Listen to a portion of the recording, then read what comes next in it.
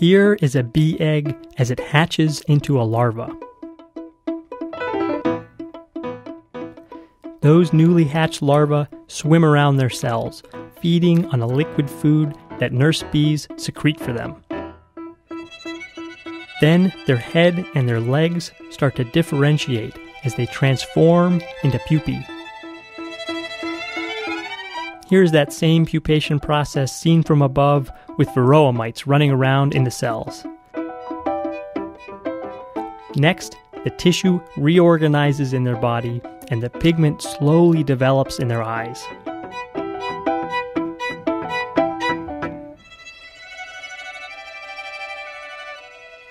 In the last step, their skin shrivels up and they sprout hair.